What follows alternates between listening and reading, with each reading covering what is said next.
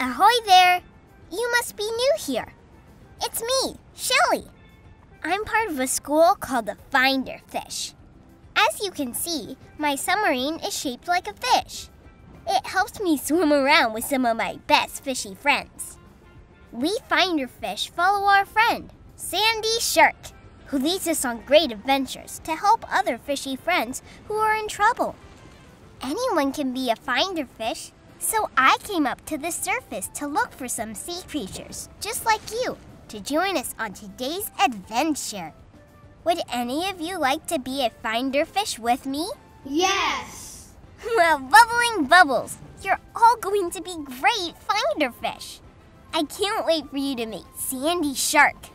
He's the friendliest shark you will ever meet, and he leads us on great adventures. We better dive in and find out what he has for us today. As I dive down deep, I like to sing a song along the way. Now, stand up, dive in, and follow along with me.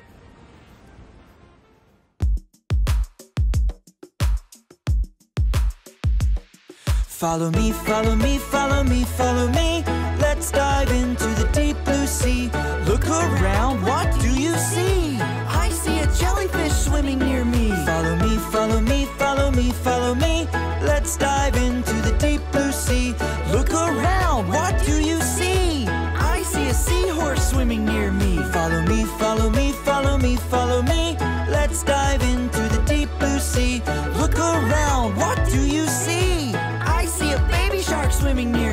Follow me, follow me, follow me, follow me.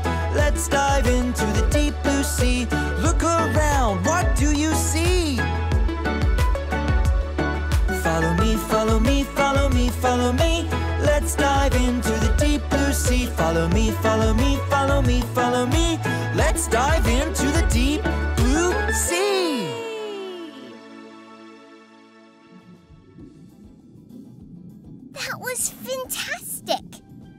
go ahead and rest your gills by taking a seat.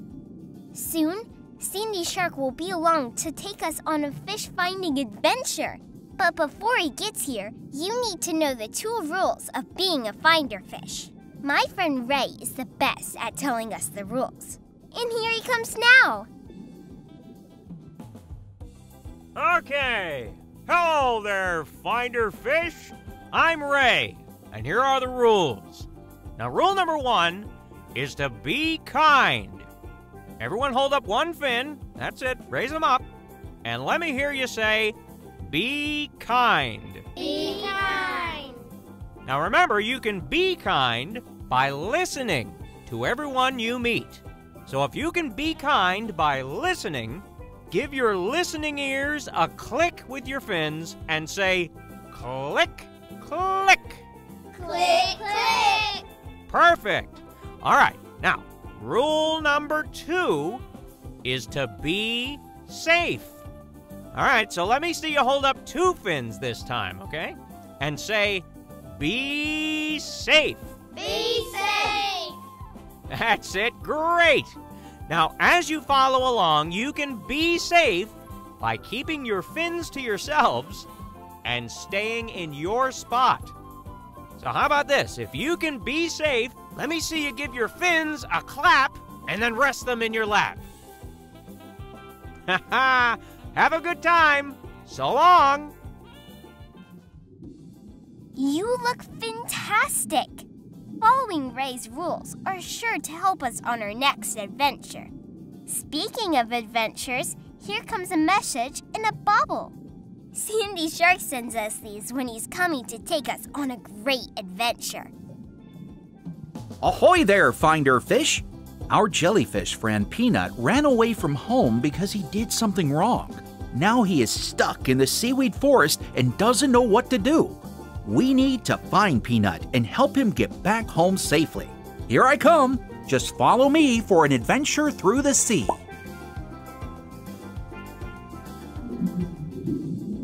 I'm so glad you all decided to join me on today's adventure. As you follow along, I have a story to tell you from God's Word. Do you finder fish know what God's Word is? The Bible! That's right. To help you see this story from the Bible, you better put on your special story goggles. Zoop, zoop! Now you're ready.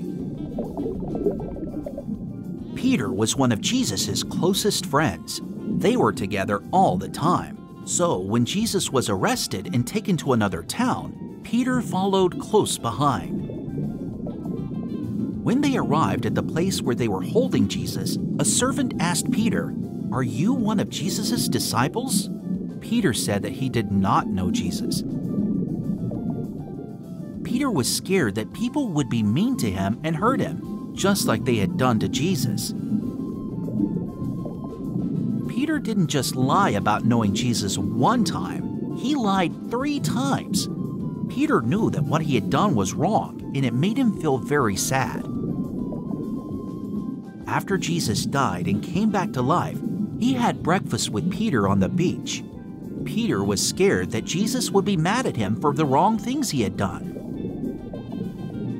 But Jesus forgave him, and Peter started telling everyone the truth about being friends with Jesus. Just like Peter, we all do wrong things. But when we get to know Jesus, we learn how special he is. Even when we do wrong things, he still loves us and wants to forgive us. That's just one of the things we can know about Jesus. We can get to know Jesus by coming to church, reading stories about him in the Bible, and praying to him. When we know Jesus, we will know what he wants us to do. So here's what you need to know today, Finder Fish. Everybody say this after me. Know No! Jesus. Jesus! And that's exactly what Peanut needs to hear when we get to the seaweed forest. Stay close, we're almost there.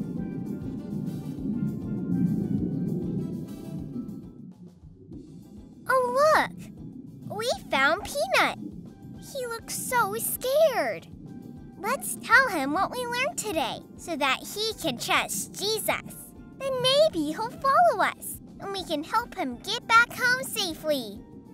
Finder fish, on the count of three bubbles, let's tell Peanut what we learned today. Ready? One bubble, two bubbles, three bubbles. Get to know Get to know Jesus. Jesus! Hi, Finder Fish. I'm so glad you found me. But how can I know Jesus? Finder fish, our friend needs some help. There are some questions that are sure to help us all know how to follow Jesus. Let's see if we can answer them. Can Peanut get to know Jesus by reading about him on a cereal box or in the Bible? The Bible! Peanut, you and all the rest of us can get to know Jesus by reading stories about him in the Bible. Then we'll know what he wants us to do. I have one last question for you. Can we get to know Jesus by praying? Yes! That's right. Peanut, talking to Jesus will help you get to know him better. When we're afraid or worried about something, we just ask Jesus to help. Let's talk to him now. Dear Jesus, Dear Jesus, please help us. please help us. Amen. Amen. Yippee! Thank you, Finder Fish. You're welcome. Sandy Shark, lead us where we need to go. Let's all stand up and sing a song as we follow along.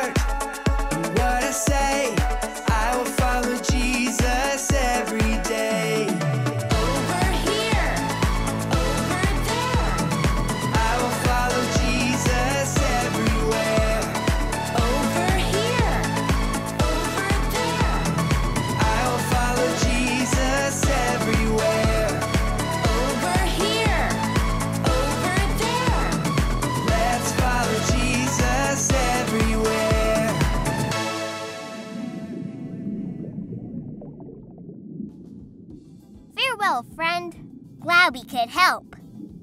And that was fantastic singing. You can sit back down and rest your sea legs. That song reminds me of a verse in the Bible. It goes like this. Just repeat after me.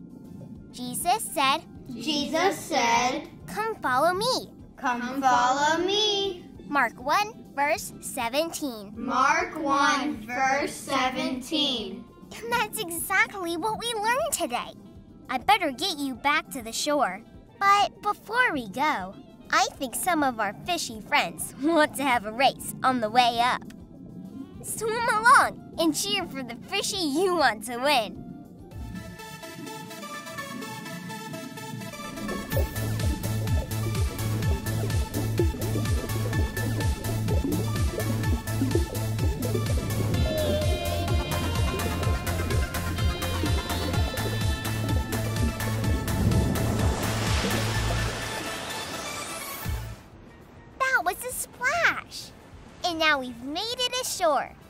Until I see you again, remember that you and I can get to know Jesus. See you later.